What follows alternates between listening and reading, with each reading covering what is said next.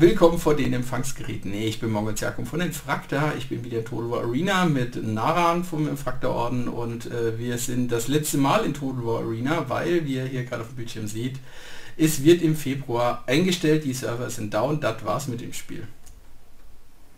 Wargaming ist scheiße. ja. ja, ja, sind wir doch mal ehrlich. Äh, äh, es liegt ja an Wargaming, das ist der Publisher und die, der, das Spiel macht nicht genug Knete, weil das kann ja der einzige Grund sein. Denn sie sind alle Schweine. So, dann gucken wir noch mal, dass wir noch ein Gefecht finden. Erstmal sollten wir uns vielleicht, warte. Ja genau. Hm. Da. Ich habe mal die ganze viele freie Erfahrung, die ich hatte, genutzt und habe mir mal meinen Karthager auf Stufe 6 gebracht, ihm Elefanten gegeben. Was, äh, was soll ich jetzt noch groß sparsam sein mit der freien XP? Ähm, na, was spiele ich denn dann? Das stimmt, ich könnte jetzt auch frei XP verballern, dann habe ich... Ja, komm.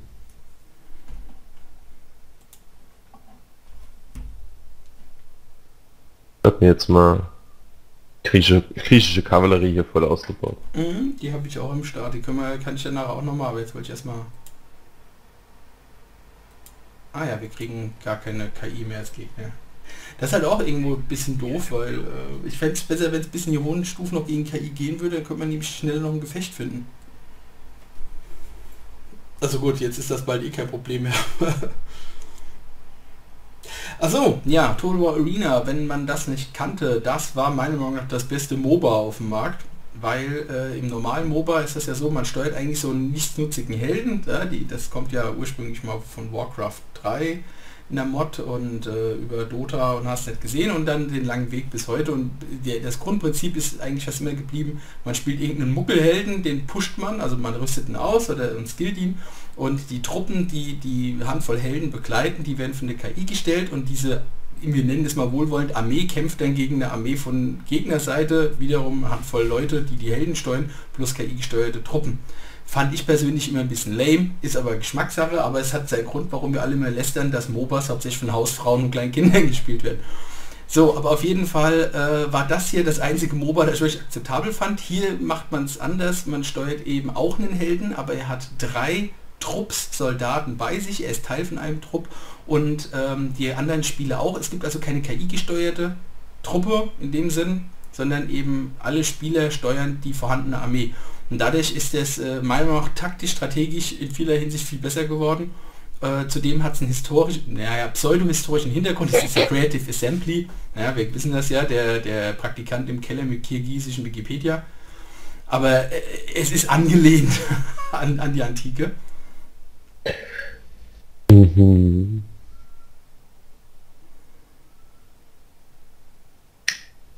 Kapua, Kapua. Oh scheiße, ich habe ja die Popcornmaschine noch an. Ich komme gleich wieder. Bin so stolz auf dich.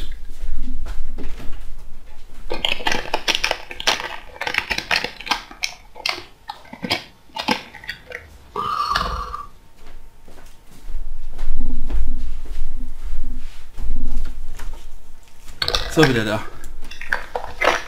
Äh, ja. Wo bist du denn? Ah, da hier links, okay. Ja, ich oh, gehe ins Zentrum mit meinen Elefanten. Äh, URDs. Ja, ich wollte mir eigentlich nämlich äh, nachher noch Popcorn machen, habe mal in die Popcornmaschine reingeguckt, habe beschlossen, äh, ich habe das letzte Mal nach dem Popcorn machen offensichtlich vergessen, die, die, die zu putzen. Vergessen. Ja, es war, es war Besuch da und der Besuch hat mich heftigst abgelenkt und äh, da kam ich nicht zur Putzen von der Popcornmaschine, ich hatte was Besseres zu tun. Hättest du mal Wir nicht führen das jetzt nicht weiter aus. nicht mit dem Penis denken, Monty. Ja, auf jeden Fall musste, habe ich jetzt mal ein Reinigungsintervall gestartet bei der Popcornmaschine. Dicken. Ich finde, dass die Karten toll aussehen, ich finde, dass die Einheiten super aussehen, ich finde, dass das ein super Spiel ist. Und das wird nur eingestellt, weil die Spieler von diesem Spiel nicht genug Geld ausgegeben haben für irgendeinen Vierlefanz, im Gegensatz zu den World of Tanks Spielern, die ja jeden Rotz kaufen. Genau, ihr Elenden, was ja, also Sagen wir nochmal, wie es ist. Bei World of Tanks sind die Spieler so dämlich, die kaufen sich sogar den gleichen Panzer nochmal, bloß weil er schwarz bemalt ist und geben dafür echt Geld aus. Und mit solchen Spielern kann man natürlich viel Geld verdienen, während du bei den Spielern hier jetzt wie Gnede machen konntest. Ich habe schon lang äh, Emerald of Tanks mehr gespielt. Ich habe es jetzt die Tage mal wieder reingeguckt, das ist immer noch total skurriles Spiel. Ich kann mir also jetzt Negerpanzer kaufen, ist das so? Ja, die heißen dann einfach Black Edition und sowas. Das sind im Prinzip genau die gleichen Panzer, sind halt bloß schwarz. Okay, das hört sich so an, als bräuchte ich das unbedingt. Warum, hat, warum hatte ich das nicht früher? Ruhen könnt ihr im Jenseits.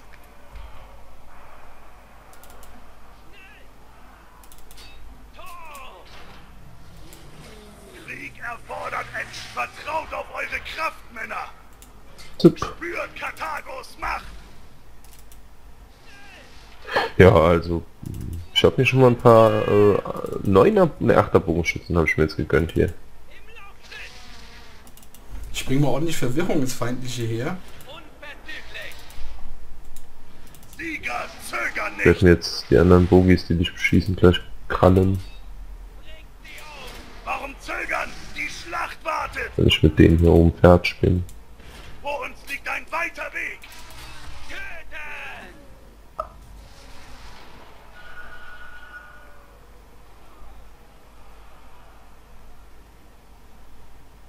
Mahav Sister Slain. Das sind äh, Elefanten.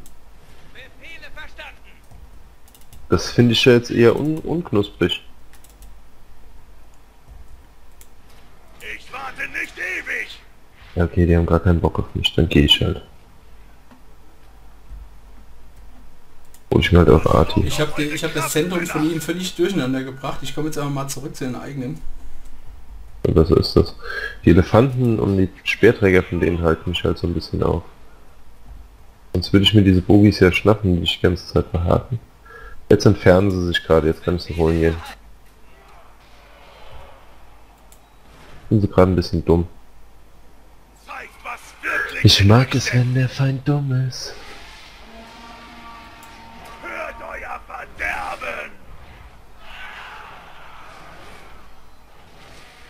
Sup. Vernichtet. Noch die hier nieder.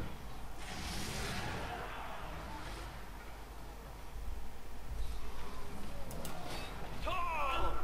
Und kommen lustig auf. Vor. Ach, das ist doch frech, was ihr da macht. Jetzt mal ehrlich. So, ich rück mal wieder vor, dass die... Ich habe die linke Flanke soweit wieder stabilisiert. Ich habe diese Bogenschützen, die durchbeschossen haben, größtenteils umgebracht. Ah, nur größtenteils. Ich, ich Aber greife mal diese Leute- Speerträger von hinten an, dann kannst du die an sie reinrushen. Die waren richtig frech, diese Speerträger. Achso, dann soll ich vielleicht lieber ausweichen oder was? Haltet durch. Ich ziehe mit euch. Da kommen noch Schwertis. Die können doch jetzt die Speerträger angreifen, Stimmt, oder? die können die mal binden. Dann kann ich auch hier den, den Todes-Rid des Grauens anfangen. Wir werden angegriffen. Sup. Uns. Soll's ja wohl dann gewesen sein, oder? Lauscht und erzittert. I am with you. Ich bin nämlich ein ganz großer Held, bin ich. Hinter uns ist Kavallerie, äh, aber die sollten eigentlich... Das ist römische Kavallerie. Na gut, die top jetzt. Na gut, ich bring's mal durcheinander. Das Römer? Äh, das könnte, das könnte römisch, das könnte so Gefährtenkavallerie oder so Spaß sein. Ja, sie hauen es denn? trotzdem lieber ab. Ich glaube, ich stampf, stampf auch gerade ein paar eigene Soldaten nieder, aber egal. Was soll der Geiz? Wir haben genug davon, Fußfolge ist billig. Sind die Iren, die kosten nichts. Ja, das ist ja traditionell so. Gut, ich rück dann wieder ins Zentrum vor. Die Ich Kavallerie hab die ist ziemlich... feindliche Kavallerie eingeholt. Ja, sehr schön. Vernichtung, du Penner.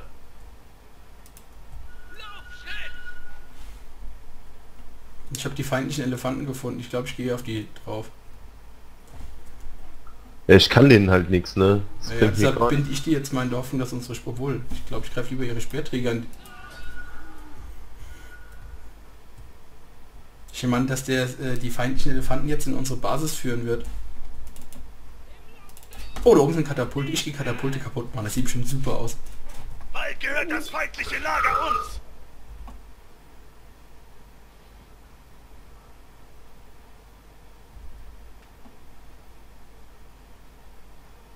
Hallo.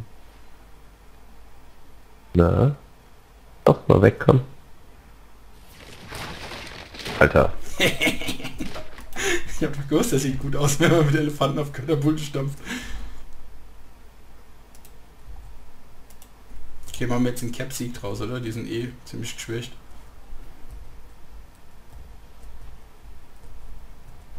Das haben wir aber ziemlich sicher geworden. Überleg mal, wie viele Truppen in uns am Start sind.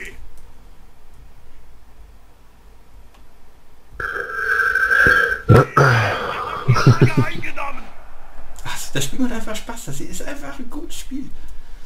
Creative Assembly soll halt einfach mal Eier zeigen und das einmal Alleingang fortführen.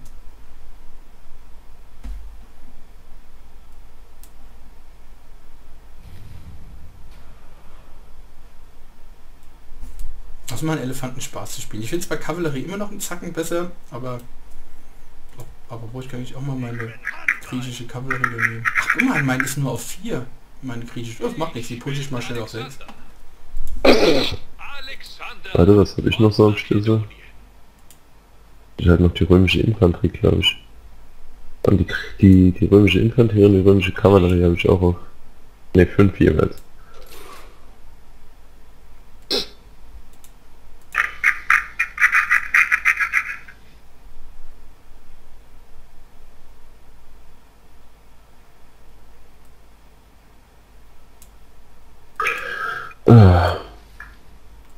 Ich bin jetzt Betriebsrat. Uh. Oh, ich kann mir die 6er gar nicht kaufen. Ich habe meine freie Erfahrung für die Elefanten verpul verpulvert gehabt.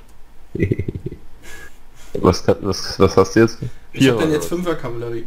Ja, dann nehme ich auch die 5er Römer.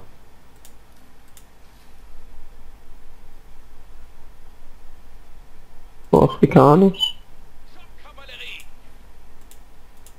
Eddie? Kavallerie. Wenn Creative Assembly jetzt so raffgierige russische Nasenbären wäre, könnten sie das Gold von dem Spiel wenigstens auf unseren World of Tanks Account übertragen. Creative Assembly? Äh, nee, Wargaming, habe ich doch gesagt, oder? Nein, du hast Creative Assembly gesagt. Okay, ich war in Gedanken noch bei Creative Assembly, weil ich halt so enttäuschend finde, dass die uns da im Stich lassen, bloß weil die raffgierigen Russen von Wargaming nicht genug Knete mit dem Spiel gemacht haben. Ja. Ich bin mal auf äh, den dritten Warhammer-Teil gespannt. Hm. Ich hoffe mal, dass es damit das Ding auch retten. Ich finde halt, es, Teil 2 macht es zwar schon besser, aber es ist halt immer noch nicht so gut wie Rom 2 Total War. Ja, aber halt so eine riesige Welt und ich spiele ja besonders gern das Chaos. Ich glaube, das liegt an meinem Charakter. Es ist, äh, Hast du schon bereits Sache. gedrückt? Ich erkenne das gar nicht. ja, ich, ich habe bereit gedrückt. Ja. Okay. Äh, ich spiele halt gern das Chaos und die ganze Welt verwüsten wäre halt auch mal was, ne? Ja gut, äh, was kommt im dritten Teil jetzt noch dazu? Glaube, hier äh, Cafe und so ein Scheiß, oder? Ernsthaft? Das ist, doch, das ist doch kaum beschrieben in den, in den Spielbüchern und in den Romanen. als, als ob das jetzt hier äh, irgendjemand interessiert hat. Äh, ja, irgendwo müssen sie die Infos für die Völker und Einheiten aus dem Skatei doch ziemlich äh, uninteressant. Da ist ja nichts in dem Sinn, außer halt die Skaven und halt Kartei. Mehr ist doch da gar nicht. Ja, ich, es ging auch mal quasi... kannst halt noch die Oger packen, aber Nee, nee, es ging mal das Ding, dass ich quasi die Chaoswüsten noch hinbaue und dann das Chaos theoretisch dort sich gegenseitig bekriegen lasse. ja, die Chaoswüste könnten sie noch großzügiger zumachen und sie könnten halt die, die verwüsteten Lande hier östlich vom äh, Rückgrat der, der Welt hier, Ja, super. Weißt du, er sagt mir, da ist hier Mit, nichts. äh, ja, da, da das sind Menge- Orks das sind. Orks, Oger, die Ogerkönigreiche sind da, das sind Vampirkönigreiche im Süden an den am, Golf. Ach, Vampire, Oger, Orks. Dogs, Zeug. Ja und besser als nur noch mehr langweilige Chaoskriege im Norden.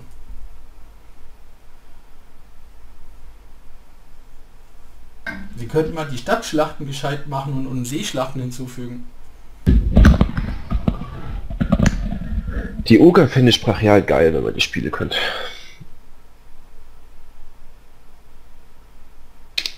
Aber Sie halt nur halt im. Süden noch ein bisschen weiter und vor allem, äh, ja, sie könnten mal den Süden noch ein bisschen interessanter machen. Aber viel haben sie nicht mehr. Das, ist halt so, dass die das Warhammer sich eigentlich immer auf die alte Welt und quasi einmal ringsrum konzentriert hat. Äh, man merkt ja schon, dass der Donut schon relativ so im, im ja, so ein Nebenkriegsschauplatz mehr blieb. Ulturan.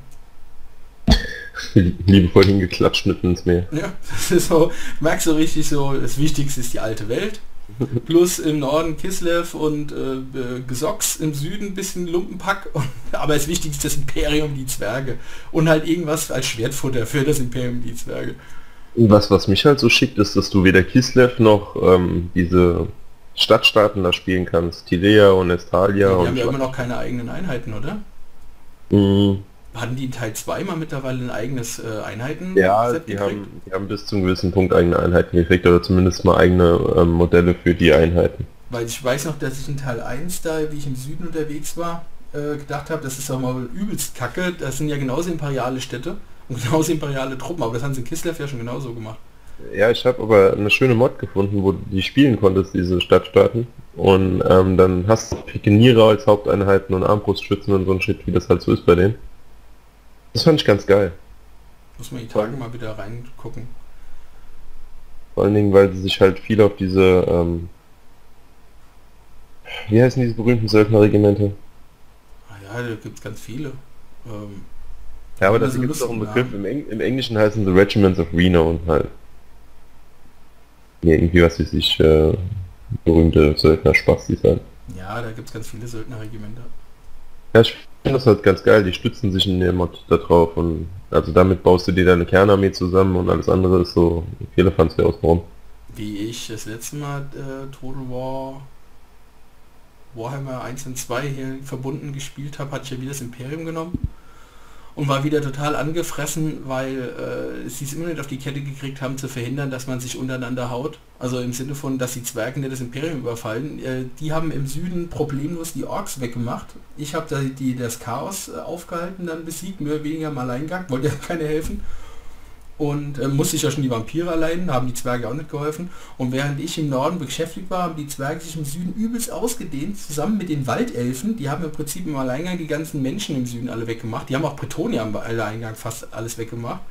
Und dann haben sie sich untereinander eine Zeit lang gehauen. Und dann, wie das Chaos besiegt war, haben die Zwerge mir instant den Krieg erklärt. Und hatten ja die Orks ausgelöscht, denen gehört im Prinzip der ganze Süden. Und die Waldelfen hatten angefangen, ganz im Süden die Vampirischen auszulöschen zum Großteil. Und dann, äh, und nicht die Vampire hier, Necker, die, die Untoten, äh, Ja, diese Kruchkönige. ja, die Gruftkönige, die waren von den Waldelfen, äh, mit drei, drei Full-Sex Waldelfen haben gereicht, die haben alles blatt gewalzt, was in den Weg kam.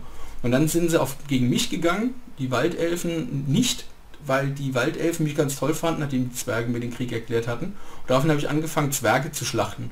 Und habe die auf, anfangen aufzurollen, von Norden nach Süden, wie so ein Wandteppich. Aber Also ich hab das äh, Problem das Problem ist, ich habe in dieser Kampagne im Prinzip nur spielen können gegen Vampire, Chaos und Zwerge, weil alle anderen wurden schon getötet, bevor ich in die Nähe kam. Weil die Vampire und das Chaos fliegen war erstmal das Wichtigste. Und in der Zeit haben die Zwerge und die Waldelfen alle anderen ausgelöscht. Und, äh, gut, im Westen stehen noch die Truchi, also die Dunkelelfen und hier die Donut-Jungs, die restlichen, die es noch gibt. Die Hochelfen. Aber, aber gut, das ist ja auch nicht wirklich spannend. Und die, Hoch, die Hochelfen haben den Osten ihres Gebietes an die Zwerge verloren. Die Zwerge haben eine Flotte gebaut, sind rübergefahren und haben den Osten von Ulturan erobert. Du musst ja nicht mal eine Flotte bauen in dem Spiel, du kannst ja einfach so fahren. Naja, im Sinne von Flotte, das meine ich ja im Sinne von Flotte bauen. Ja. Kannst ja, Äh. gibt ja keine Schiffsschlachten. Leider nicht.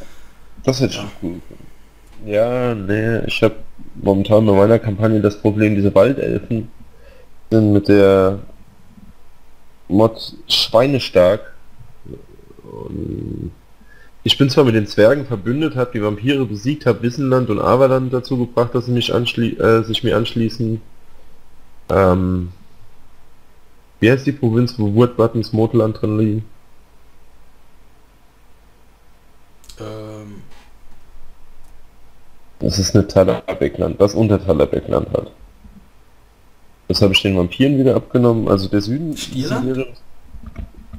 Ja, kann sein, dass das Stierland ist. Auf jeden Fall, die habe ich alle äh, geschnappt, das gehört alles mir. Nur haben jetzt die Waldelfen mir den Krieg erklärt und deren Bogenschützen sind so Wichser. Der einzige, der so wirklich eine Chance bei mir hat, ist Balthasar Geld, weil ich den immer als Anfangshelden nehme. Und er sitzt halt schon auf seinem fliegenden Pony da und zaubert sie einfach tot. Ja, der hatte dieses ja, ja, ähm, ich weiß, die Pegasus. äh, hier Transmutation to Lead oder so, also dann einfach tot umfallen reinweise. Das ist ganz geil. Ist erst den Anführer tot und dann die ganze Truppe. Hm, sieben Minuten schon. Naja, ist halt, wenn jetzt die Surfer dicht gemacht werden, hören die Leute natürlich auf zu spielen, weil für was sollen sie noch Zeit investieren? It's a very, very sad world. Hm. Da finde find ich tatsächlich mal ein MOBA, das mir gefällt. Das wird nicht. Das ist wie bei das ist wie bei Filmen und Serien. Gut, bei Filmen jetzt nicht, aber bei, bei Serien. Wenn ich eine Serie finde, die ich gut finde, zack, werden sie eingestellt. So eine Staffel mehr Scha äh, hier ist Serenity, äh, Firefly, eine Staffel weg. Ähm, ist, ähm, ähm, ähm, Stargate Universe hat es immerhin, glaube ich, auch zwei Staffeln gepackt, weg. Ähm, Black Sails hat es, glaube ich, auf mehr als eine Staffel gebracht, war dann auch Ja, relativ zügig weg. Das habe ich mir Ähm, lustigerweise auch angeguckt, dieses Black gedöns. das fand ich echt gut gemacht. Äh, Was war noch? Crossbones? Nee, doch, Crossbones? War, glaube ich, auch nur eine Staffel geschafft.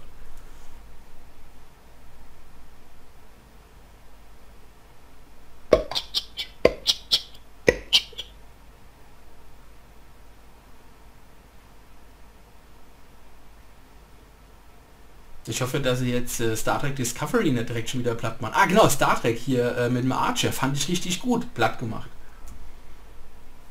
Ich fand das, äh, äh, fand das richtig gut. Das war klar war das nicht der PK, aber das war, fand ich irgendwie so ein. Ich habe die irgendwie ins Herz geschlossen, diese Bande mit ihren Baseballkappen und dem Köter an Bord. Die einfach überall landen, scheißegal, sich überall einmischen, scheißegal. Ja, das hört sich nach einem Faktor an. Ja, ja, es, es hört sich vor allem an, wie wenn du eben jetzt irgendwie eine Bande Mischung aus Europäern und Amis an Bord von einem Raumschiff packen würdest, einfach mal ins Weltall schießen. So, hier, guckt euch mal um. Mach mal was, ja. Bringt mir irgendwas heim, dass ich das, damit die Leute heim akzeptieren, warum die vielen, warum wir das viele Geld für euch ausgeben. Okay. Ja, und dann zockelt der Ami mit der Baseballkappe los, mit dem Beagle und einem Haufen Typen, die wir auf der Erde offensichtlich nicht gebraucht haben, die sie deshalb ins All schießen konnten. Ja, und hier das neue, das, das Discovery finde ich echt nicht schlecht. Die ersten paar Folgen hat mich wie immer bei, äh, etwas irritiert. Das fand ich auch bei Stargate Universe damals so, dass ich nach, äh, nach, äh, nach der ersten Staffel immer nicht so ganz sicher war, ob ich da überhaupt einen gut leiden kann. Aber es war irgendwie gut gemacht.